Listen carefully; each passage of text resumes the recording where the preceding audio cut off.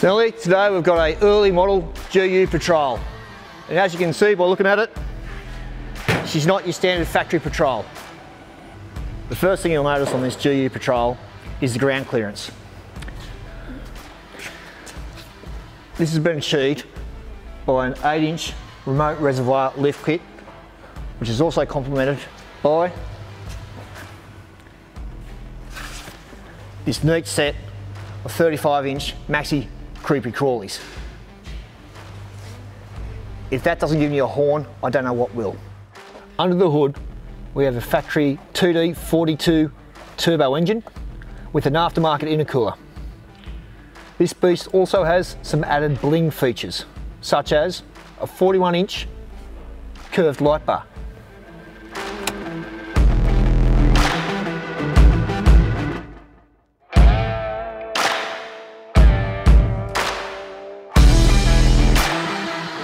In addition to the 41 inch curved light bar we've got on top, some additional bling features on this bad boy are a 4 inch Steno snorkel and a 3 inch behind cab dump exhaust. Judging by the sticker on the back of this cab, I'm pretty sure that's not the only thing that's been dumped behind this cab. To the back side of this rig, we've got mounted a Maxi-Track 10,000 pound wire rope winch,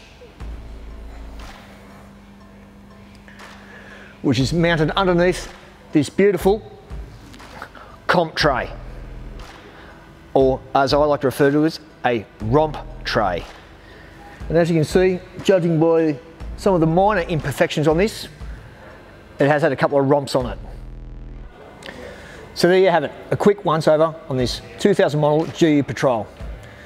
For parts inquiries on this vehicle or any other vehicle, give us a QE on 4041 4000. Wow, that was quick. Catch you next time.